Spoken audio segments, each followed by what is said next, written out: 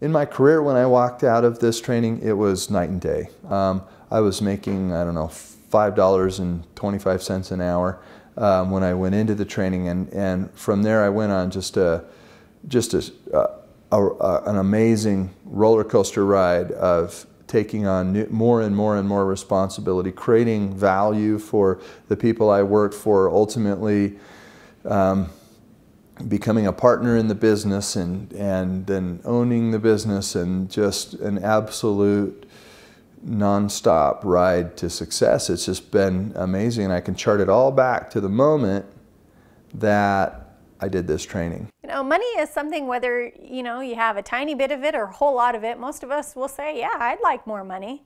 And, you know, at the Great Life Foundation, uh, we don't have money trees, you know, we don't hand it out, you know, with gold stars that we give you. But what we do is give you an opportunity to take a look at the beliefs you have that have kept you from having more money. You know, where do you hold your worth? Where do you hold the value and the skills and the talent that you have? When you dig down deep inside, you'll connect with that person who really thought being president of the United States was a possibility or thought that going to the moon was, there was a real chance of that or thought, hey, no problem, I can be a fireman someday and save lives.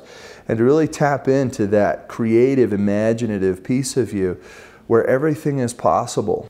I had a small company, seven employees.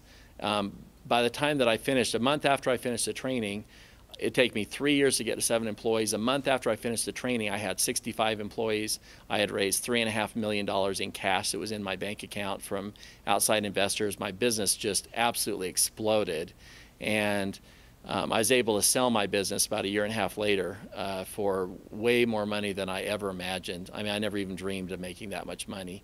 And a lot of it was just because I finally got out of my own way. I mean, I, I was in the way before that. And when I started leveraging and loving the people around me, uh, everything changed. My whole life just turned on a dime. I'm an employer as well as a father and a husband, and I've experienced hundreds and hundreds of people in their career paths. And the, what I've seen, quite honestly, is that the biggest thing in everybody's way isn't opportunity, it isn't luck, it isn't education, it's that we self sabotage. We go in and actually make it impossible on purpose almost to get what we say we want. And as I've looked at hundreds and probably thousands of careers, I've seen that over and over and over again. As I left the second level of training, I, I thought, you know, I want to grow my business. I need to raise $100,000. At that time, and I left to drive from Salt Lake City to Phoenix, as I drove out of the parking lot, I said, I've got a, I've got a goal. My goal is to go out and raise $100,000 to grow my business. And at that point in time, that was more money than I'd ever seen in my life. I didn't know anybody in my life that had $100,000. So that was going to be a real challenge for me. By the time I got about an hour away, I said, you know, 100,000 though, that's pretty doable. I want to raise 300,000.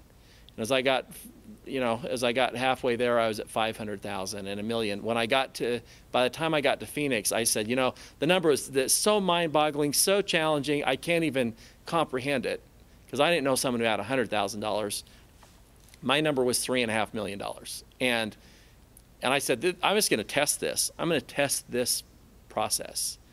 And as I got totally clear, as I was totally committed to the three and a half million dollars, what I over the next 14 days, I experienced miracle everybody I sat by on an airplane. I sat by more people that had money they needed to invest that had just sold businesses. You know, I had like six potential investors in two weeks. And three weeks later, I had all the money in the bank. But I picked, I actually, it wasn't even a fluke. I chose between multiple investors which one would be the best partner for me. And I had no idea it worked like that. That, that is how it works. You know, but I had to get rid of my inside stuff first of all before I could ever start manifesting that on the outside. In going that deep, I unlocked, I unlocked some amazing doors. And in the 15 years since I've done this, since I've originally done this training, uh, it's been a just, it's just been a rocket ride. Um, it has been an amazing opportunity um, to live life in greatness and to experience profound blessings in virtually every area of my life. The more confidence in what it is you bring to the table and the value you have, that easily translates into how much more money you will get paid and how much more money you will ask for and people will be willing to give you because of the value you, you create. Because, I mean, you know deep inside you there, there's this greatness. I mean, as adults, we've been buffeted so many times by what goes on in this life that a lot of times we begin to really buy the limitations um, that we can't achieve this or can't do that or that life is an either or proposition. My um, experience with many people is that they hold themselves so small. They believe so little in their skills or talents, or they believe so much in how everyone else has told them they're not worth anything, that that translates into how much money they do or don't have. You know, so that's another area where the Great Life Foundation supports people in having more money, not because we give it to them or because we say, you know, go do this and you'll have lots of money, but we assist them in finding out their value and their worth. And oftentimes that translates into, you know, increasing their income. And I decided in this training that this was a universe of abundance, that, that there was limitless opportunity in this world and that everything was possible and then I, I simply I just put that to the test, and, and time and time again, it proved to me that yeah, if I was open, um, I could have it all.